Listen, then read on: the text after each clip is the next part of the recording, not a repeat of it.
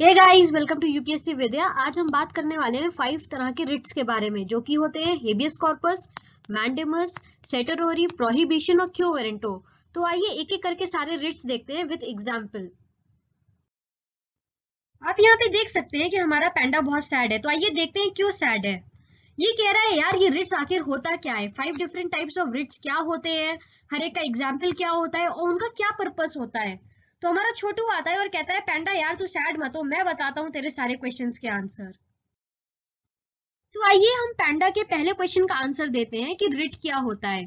तो writ is an order of the court enforcing compliance on the part of those against whom the writ is issued मतलब जिसके खिलाफ हम writ issue कर रहे हैं, उसके लिए कोर्ट एक ऑर्डर इशू करता है और उस ऑर्डर में जो भी लिखा होता है, वो मानना होता है दूसरी पार्टी को।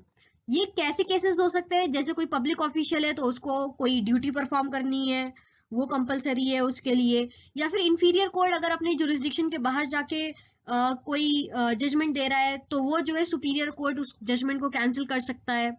फिर हमारे कॉन्स्टिट्यूशन में दो आर्टिकल दिए हुए हैं आर्टिकल 32 और 226 तो आर्टिकल 32 के अंदर सुप्रीम कोर्ट फंडामेंटल राइट्स के लिए रिट इशू कर सकता है और आर्टिकल 226 के अंदर हाई कोर्ट जो है फंडामेंटल राइट्स के एनफोर्समेंट के लिए प्लस जो लीगल ऑर्डिनरी लीगल लॉज होते हैं, उसके लिए रिट्स इशू कर सकता है। तो High Court has a wider writ jurisdiction than Supreme Court क्योंकि वो फंडामेंटल राइट्स और लीगल लॉज के लिए इशू करता है, जबकि सुप्रीम कोर्ट सिर्फ़ फंडामेंटल राइट्स के लिए इशू कर सकता है रिट ब्रिटेन में जो है रिट्स को पेरोगेटिव रिट कहते हैं, क्योंकि ये किंग इशू करता है। और यूएसए में रिट्स कहाँ मेंशनड है?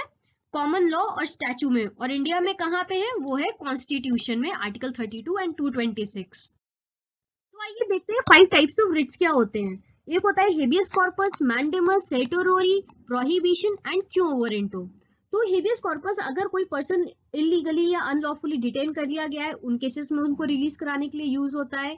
मैंडेमस यानी कि सुप्रीम कोर्ट जो है, एक पब्लिक ऑफिशियल को बोल सकता है कि तुम अपनी पब्लिक ड्यूटी परफॉर्म करो सेटोरोरी यानी कि सुपीरियर कोर्ट अपने इंफीरियर कोर्ट या क्वासी जुडिशियल अथॉरिटी ने जो ऑर्डर पास किया है, वो अगर उसके जुरिस्डिक्शन के बाहर है तो बोल सकता है कि तुम अपने सारे केस की प्रोसीडिंग्स जो है, वो हमको ट्रांसफ़र कर दो और मैं तुम्हारे जो है जजमेंट चेक करूँगा, वो वैलिड है कि नहीं।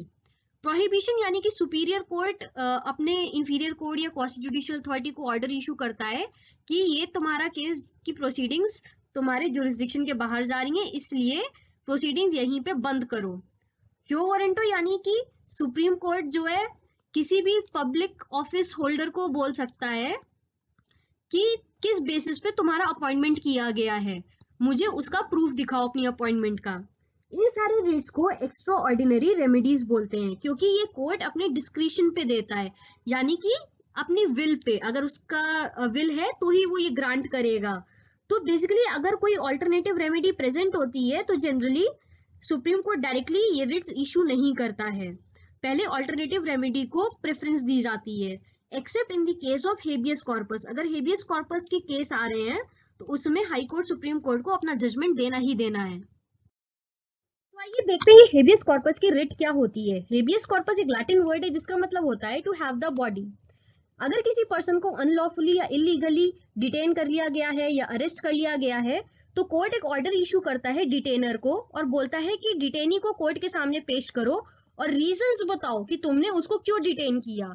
जो रीजंस जो है उसने डिटेनर ने दिए अगर कोर्ट जो है देखता है कि डिटेनर ने अनलॉफुली या इलीगली डिटेन किया है डिटेनी को तो डिटेनी को खुला छोड़ दिया जाता है रिलीज़ कर दिया जाता है। तो आइए कुछ एग्जांपल्स देखते हैं हेबियस कॉर्पस के कि किन सिचुएशंस में ये रिट इशू की जाती है।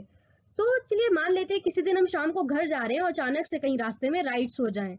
हम उस पूरी भीड़ में जो राइटर्स हैं, उनके साथ मिक्सअप हो जाते हैं। अचानक से पुलिस आती है और पूरी भीड़ को अरेस्ट कर लेती है, जिसमें आप भी शामिल हैं।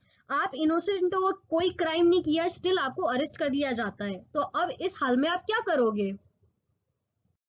नेक्स्ट एग्ज़ाम्पल है कि मान लीजिए जो है, एक दिन पुलिस अचानक से आती है आपके घर में और आपको बिना रीजंस बताए अरेस्ट कर लेती है। फिर नेक्स्ट होता है कि 24 घंटे के अंदर मैजिस्ट्रेट के सामने पेशी होनी चाहिए। पुलिस वो भी नहीं करती है। तो अब ऐसी सिचुएशन में आप क्या करोगे? तो इन दो सिचुएशंस में जो अरेस्टेड पर्सन है वो या फिर a person on his behalf वो एक रिट पिटीशन जो है फ़ाइल कर सकता है हेबियस कॉर्पस की, ताकि जिसको अरेस्ट किया गया या डिटेन किया गया है, उसको रिलीज़ करवाया जा सके। एक और एग्ज़ाम्पल है 1975 के अंदर आपको याद होगा जब इमरजेंसी लागू हुई थी तो सारे पॉलिटिकल लीडर्स को डिटेन कर लिया गया था विदाउट एनी रीजन तो ये भी उस टाइम पे बहुत सारे हेबियस कॉर्पस की पिटीशन फ़ाइल हुई थी।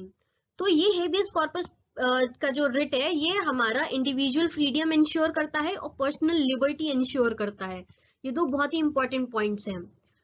और ये रेस्ट्रिक्टेड है, इसकी पावर थोड़ी रेस्ट्रिक्टेड है हमारी प्रिवेंटिव डिटेंशन एक्ट के अंदर। तो ये किसके अगेंस्ट इशू किया जा सकता है? ये एग्जीक्यूटिव अथॉरिटीज के अगेंस्ट इशू किया जा सकता है। प्लस कोई प्राइवेट बॉडी या प्राइवेट पर्सन हो, उसके अगेंस्ट भी इशू किया जा सकता है। ये बहुत इंपॉर्टेंट है।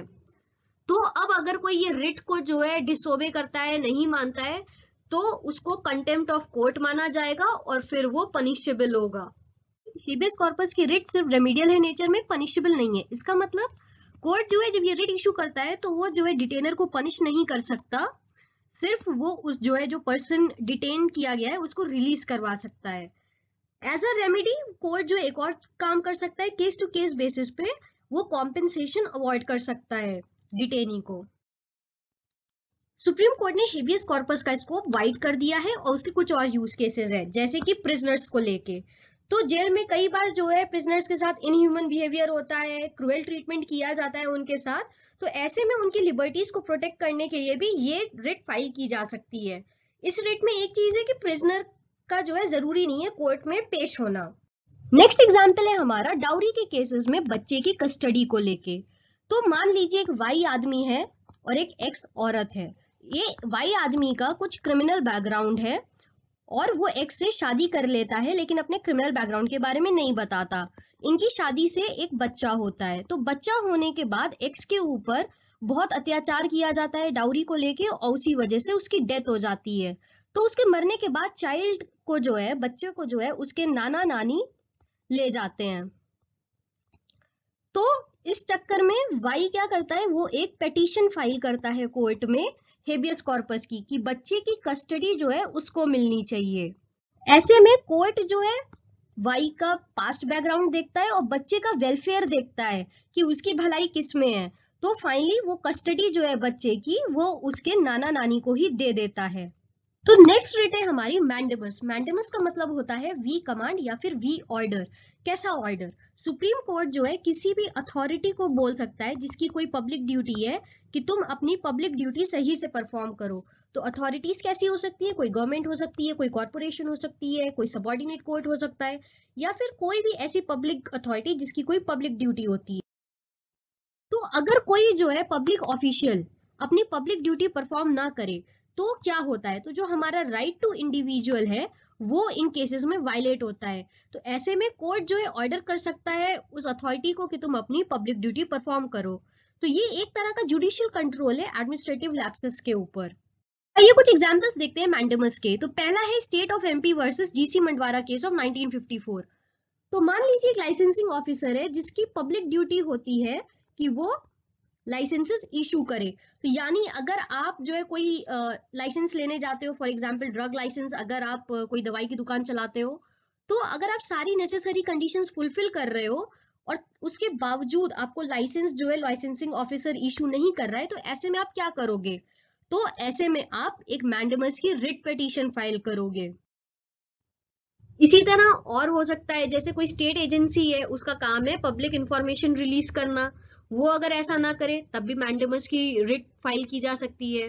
अब अगर कोई सबॉर्डिनेट कोर्ट है और वो रिपोर्टर्स को जो है एंट्री मना कर दे कि रिपोर्टर्स जो है इस ट्रायल को जो है नहीं कवर कर सकते, तब भी रिट पिटीशन फ़ाइल की जा सकती है मैंडेमस की।